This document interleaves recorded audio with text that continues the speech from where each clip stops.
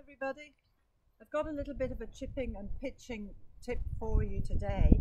And frequently, uh, I think a lot of the mistakes that people make in this area of their games is with their setup. And if you set up incorrectly, you know you've got a tough, tough mountain to climb then if you're trying to get a very good quality, precise strike on your short shots. So one of the things that I frequently see is that players are very, very intent on getting a lot of forward lean in the shaft at address. Now when they do this it tends to drop the trail shoulder. So there's quite a differential here between the shoulders. When you're set up in this shape here, it means that the shape of your swing is going to be shallow and low and it encourages you to scoop into a high position. So watching from the back,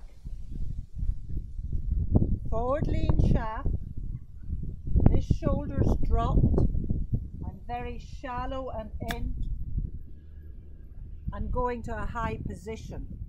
It doesn't augur well for a good short game. So what changes do you need to make? At address, feel that your shoulders are much more level.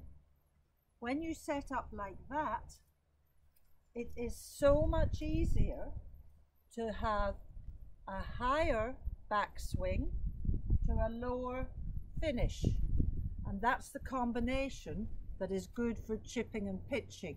Never shallow to high, rather high to shallow. So get this little thing right at the start. Shoulders much more level. Weight favouring the left a teensy weensy bit if you like.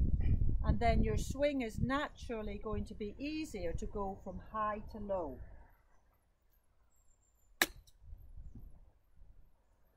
So get the shoulders more level and have more success with your short game.